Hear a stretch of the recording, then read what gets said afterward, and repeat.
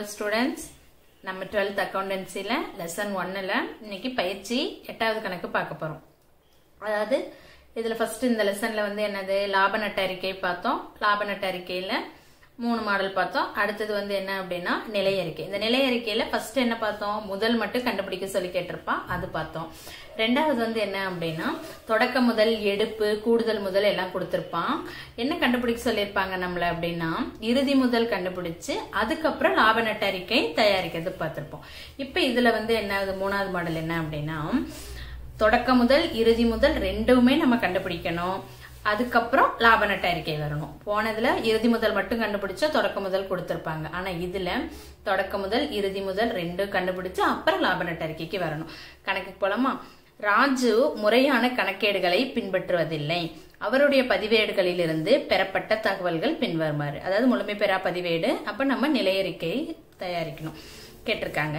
பாருங்க ஒன்று ஒன்று ரெண்டாயிரத்தி பதினெட்டு முப்பத்தி ஒன்று பன்னெண்டு ரெண்டாயிரத்தி பதினெட்டு. அதாவது ஸ்டார்டிங்தோ எண்டில் இருக்கிறதோ கொடுத்துருக்காங்க. அப்போ முதல்ல ஒன்றாம் தேதியை வச்சு நம்ம என்ன கண்டுபிடிக்கணும் அப்படின்னா தொடக்க முதல் கண்டுபிடிக்கணும்.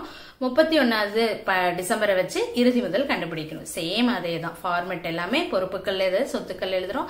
ரெண்டுக்கு உள்ள வித்தியாசம் முதல் அது வந்து ஃபர்ஸ்ட் ஒன்னாம் தேதி வந்து ஜனவரி ஒன்றை வச்சு நம்ம கண்டுபிடிக்கிறது தொடக்க முதல் டிசம்பரை வச்சு கண்டுபிடிக்கிறது இறுதி முதல். இப்போ நம்ம எதெல்லாம் சொத்துக்கள் பொறுப்புகள்னு பார்த்துருவோம். கை ரொக்கம் சொத்துக்கள். நான் ஏற்கனவே சொல்லியிருக்கேன். பொறுப்புகள் அப்படிங்கிறது நம்ம பே பண்ணக்கூடியதெல்லாம் பொறுப்புகள். எதெல்லாம் பொறுப்புகள்ல வரும்?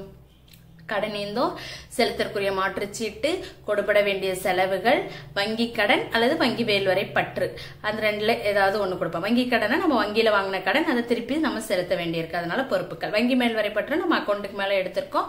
அதை பே பண்ண வேண்டிய லைபிலிட்டி இருக்கு. ஸோ அதுவும் பொறுப்புகள்ல வரும். மீதி எல்லாம் சொத்துக்கள். இப்ப வந்து கை ரொக்கம் நம்ம கிட்ட இருக்கிறது சொத்து. சரக்கிருப்பு விற்காம இருக்கக்கூடிய சரக்கு என்னைக்கு இருந்தாலும் வித்து பணமா இருக்க பண்ணிருவோம். அதுவும் சொத்துக்கள். கடனாளிகள் சொத்துக்கள். கடனீந்தோர் நமக்கு கடன் கொடுத்துருக்காங்க. ஸோ நம்ம திருப்பி பே பண்ண வேண்டிய லயபிள் இருக்கு. ஸோ அதனால இது வந்து என்னது? லயபிலிட்டிஸ் அதாவது பொறுப்புகள். வங்கி கடன். வங்கியிலேருந்து நம்ம கடன் வாங்கியிருக்கிறோம். அந்த கடனை நம்ம என்ன பண்ணணும்? பேங்க்ல அந்த லோனை திருப்பி செலுத்த வேண்டிய பொறுப்பு இருக்கு. பொறுப்புகள். செலுத்தற்குரிய மாற்றுச்சீட்டு மாற்றுக்கு சீட்டுக்கான பணம் செலுத்த வேண்டிய பொறுப்பு இருக்கு. ஸோ அதுவும் பொறுப்புகள். பொறி மற்றும் இயந்திரம் பிளான்ட் அண்ட் மிஷினரி இது நம்மளோட கம் எனது நிறுவனத்தில் இருக்கக்கூடிய அப்போ இது வந்து நமக்கு என்னது? சொத்துக்கள்.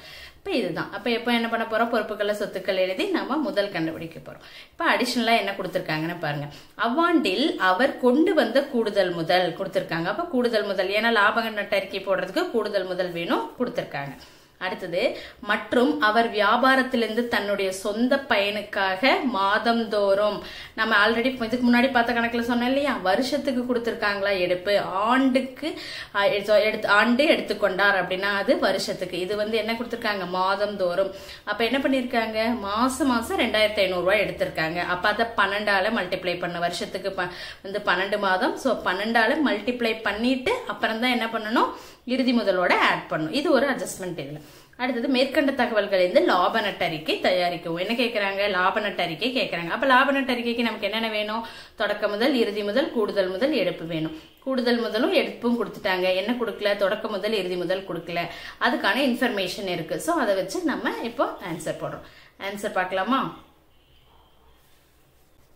இப்ப பாருங்க ராஜு என்பவரின் ஏடுகளில் ராஜு என்பவரின் ஏடுகளில் ஃபர்ஸ்ட் தொடக்க முதல் கணக்கிடுதல். இங்க எழுதிருக்கு இல்லையா? தொடக்க முதல். பொறுப்புகள் சொத்துக்கள். அப்ப ரெண்டாயிரத்தி பதினெட்டு ஜனவரி ஒன்னாம் நாளைய நிலையறிக்கை. ஏன்னா ஜனவரி ஒன்னு கொடுத்திருக்காங்க. ஏப்ரல் கொடுத்திருந்தாங்களா? ஏப்ரல்னு போடுறீங்க. இப்போ பாருங்க கைரொக்கம் எங்கே வரும்? கைரொக்கம் சொத்துக்கள் எழுதியிருக்கு. அடுத்தது சரக்கிருப்பு சொத்துக்கள். கடனாளிகள் தொண்ணூறாயிரம் சொத்துக்கள் எழுதியிருக்கோம். எழுதியிருக்கோம் இல்லையா? அடுத்தது கடனீந்தோர் ஒரு லட்சத்தி முப்பதாயிரம் பொறுப்புகள் எழுதியிருக்கோம். வங்கி கடன் அறுபதாயிரம் பொறுப்புகள். செலுத்தற்குரிய மாற்றுச்சீட்டு எண்பதாயிரம் பொறுப்புகள் எழுதியிருக்கோம். பொறி மற்றும் இயந்திரம் சொத்துக்கள் எழுதியிருக்கோம். இப்போ சொத்தை கூட்டுறீங்க. சொத்து சைடு எவ்வளோ டோட்டல் வருது அப்படின்னா அஞ்சு லட்சத்தி இருபதாயிரம் வருது. பொறுப்புகள் பக்கம் எவ்வளோ வருது அப்படின்னா ரெண்டு லட்சத்தி எழுபதாயிரம். சொத்துல வந்து அஞ்சு லட்சத்தி இருபதாயிரம் பொறுப்புகள்ல ரெண்டு லட்சத்து எழுபதாயிரம். அப்ப என்னது? தொடக்க முதல் தான் நமக்கு என்னது? பேலன்சிங் ஃபிகரா வரும். இருப்பு கட்டும் தொகை தொடக்க முதல் எவ்வளோ? ரெண்டு லட்சத்து ஐம்பதாயிரம். இப்போ ரெண்டு சைடோட டோட்டல் அஞ்சு லட்சத்து இருபதாயிரம்.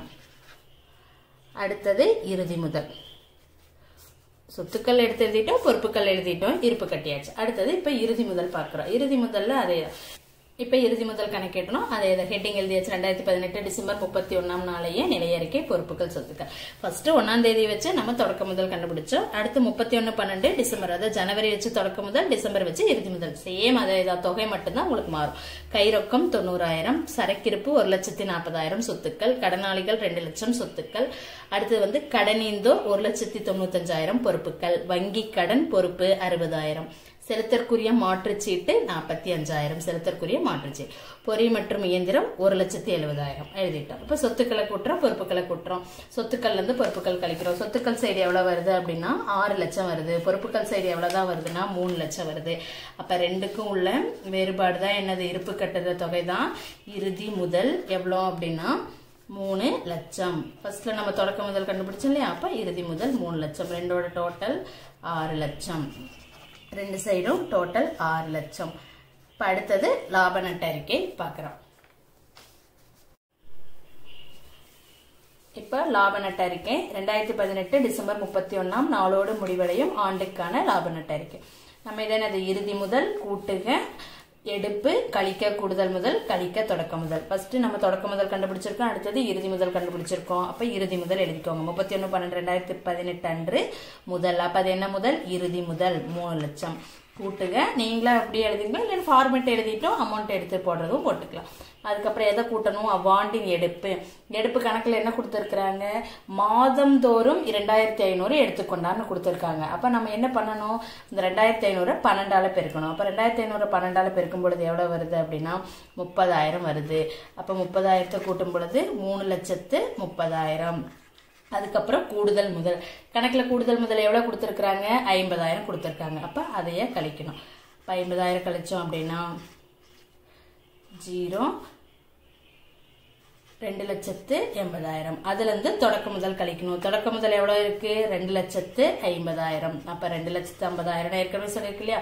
மேலே வந்து ரெண்டு லட்சத்து எண்பதாயிரம் கீழே ரெண்டு லட்சத்து ஐம்பதாயிரம். அப்போ நமக்கு என்ன வந்திருக்கு? லாபம் முப்பதாயிரம். இந்த மாடலில் என்ன பண்ணியிருக்கோம் தொடக்க முதல் கண்டுபிடிச்சு இறுதி முதல் கண்டுபிடிச்சு அப்புறம் லாப நட்ட அறிக்கை பார்த்துருக்கோம் ஓகேவா ஸ்டூடெண்ட்ஸ் நெக்ஸ்ட் கிளாஸ் பார்க்கலாம் அடுத்த மாடல்.